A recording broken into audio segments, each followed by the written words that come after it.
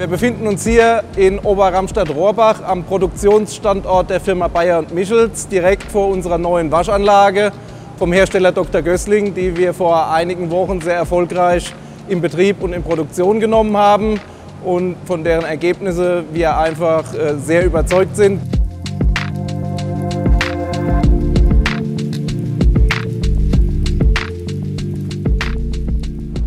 Die Aufgabenstellung an die Firma Dr. Gößling war es, eine Anlage zu konzipieren, mit der wir Teile bis zur Größe M14 x 100 und einem Teilegewicht von bis zu 100 Gramm schonend reinigen können nach den Arbeitsschritten Pressen als auch Walzen.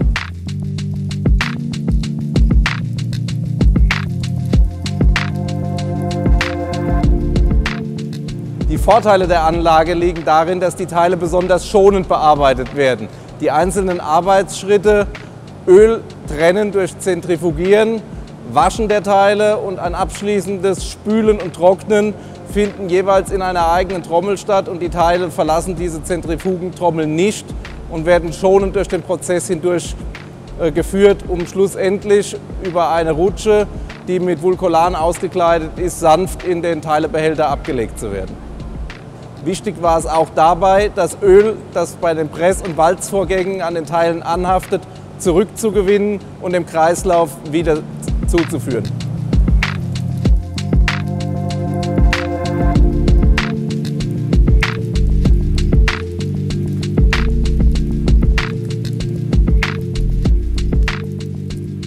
Dies wurde mit dieser Anlage wirklich in Perfektion realisiert sodass wir unsere hohe Produktqualität aufgrund der Anlage auch im Bereich der Reinigung aufrechterhalten können.